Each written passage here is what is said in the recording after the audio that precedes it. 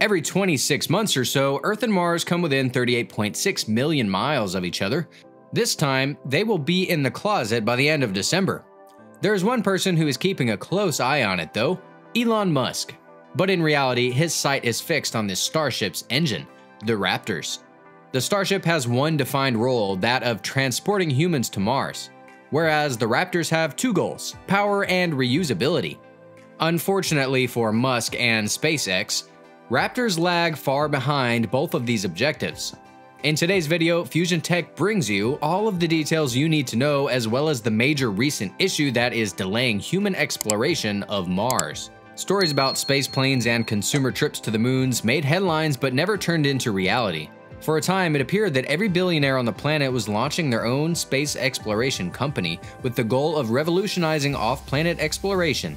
There was little reason to believe that Elon Musk would be any different when he entered the space scene. His claims of cutting costs and colonizing Mars piqued our interest, as we had heard them all before. Musk is a controversial figure at times. His remarks have enraged both the general public and government officials. Love him or hate him, he knows how to take control of markets. And in the 20 years since the founding of his company SpaceX, Musk has accomplished what many in the private sector have not been able to. He has kept his original promises. SpaceX has already flown constant supply missions to the International Space Station, refined usable rocket boosters, and has even transferred astronauts to space and safely returned them home. Building on these great achievements, the company has set its sights on bigger goals, such as re-establishing footholds on the moon and ultimately Mars. Elon Musk has staked his company on a massive rocket, but he is unable to answer some critical questions about it. However, he is very confident the Starship will enter orbit soon. But he has failed to mention what the engineers need to do before the flight test, or how he would prove the vehicle was spaceworthy enough for NASA astronauts. It would be reusable and capable of transporting 100 tons of cargo into space and its 69 meter tall super heavy booster, if successfully demonstrated, will be the biggest and strongest rocket ever to fly, with more than double the thrust of the Saturn V rockets that carried Americans to the moon. And it may be among the most efficient, with Musk stating in 2019 that he hoped the rocket's operating cost would be $2 million per flight. Musk's hope for sending humans to Mars inspired the design of the Starship, but the vehicle's realistic destination beyond Earth's orbit is the moon. The only question now is when the rocket will make its first orbital flight. This will necessarily require the use of the super heavy rocket engine, Raptor. You may be wondering if everything is in order. What's holding the Starship back? The answer is a little bit tricky though. Remember how we said the Raptor has two goals? Extreme power that would produce enormous thrust and reusability? Raptors generate enormous power and are the most powerful engine in the world. But with such power and thrust, the engine melts during operation. As a result, the box of reusability remains unchecked. They use a design known as full flow staged combustion, which is highly efficient but creates a dangerously hot environment within the engine itself potentially jeopardizing reusability. As SpaceX refines the rocket, the company also developed a significantly different version of its Raptor engine, the Raptor V2, which almost looks like a new engine when compared to the Raptor V1, and it can produce around 25% more thrust. That is 230 tons versus 185 tons. SpaceX has also modified the engine's operation, particularly during startup and shutdown. Many aspects of testing, propellant conditioning, thermal characteristics, tanking, detanking, and specific test stands are likely to remain unchanged, but the engines affect almost every aspect of a rocket. The Raptor engine is a full-flow staged combustion cycle FFSCC engine that runs on supercooled liquid oxygen and super chilled liquid methane, and it will power SpaceX's next generation vehicle, the Starship. The Raptor engine takes advantage of the highly advantageous FFSCC cycle, which maximizes the impulse produced by a given amount of propellant. It is the third FFSCC engine ever developed and the first to leave the test stand. The first stage of Starship, known as Super Heavy, will have 33 Raptor engines, 20 non-gimbaling Raptor engines in the outermost ring, 10 gimbaling engines in the middle ring, and 3 gimbaling central engines in the innermost ring. The estimate is expected to fall in the future as SpaceX improves Raptor. Starship's second stage currently houses six engines in total, three vacuum-optimized non-gimbaling engines and three sea-level gimbaling engines.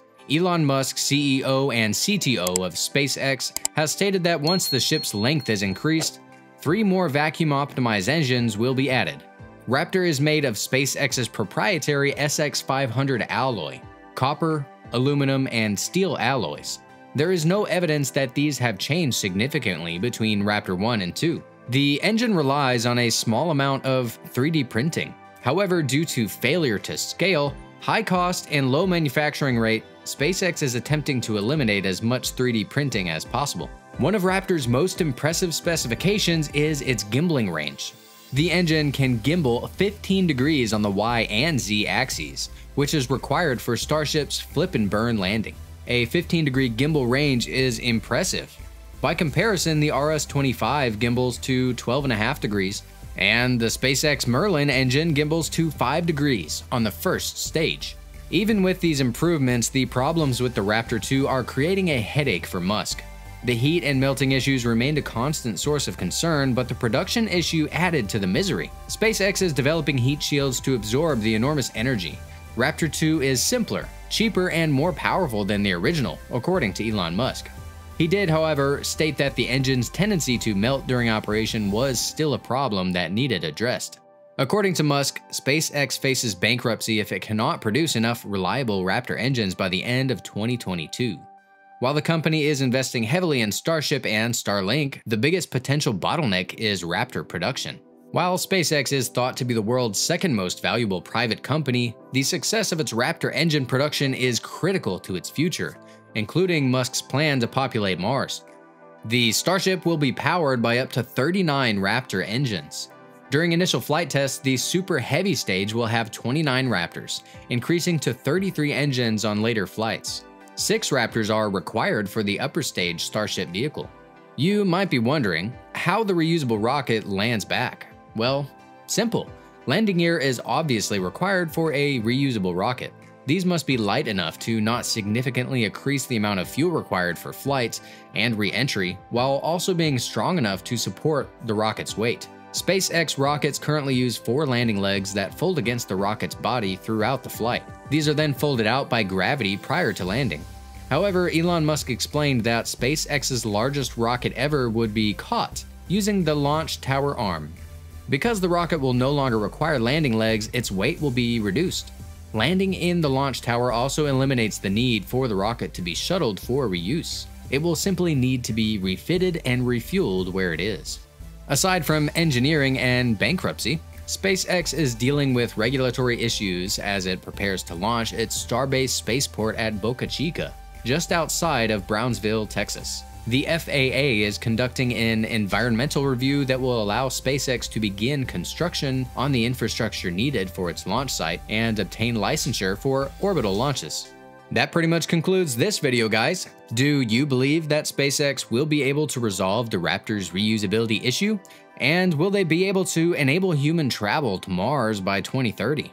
Let us know in the comment section below. We would love to hear from you. Thanks for watching, and remember make sure to subscribe to this channel with bell notifications on if you enjoy watching our content. We upload some pretty awesome stuff which you will most certainly enjoy. So hit a like on the video, leave a comment below, and we'll see you in the next one.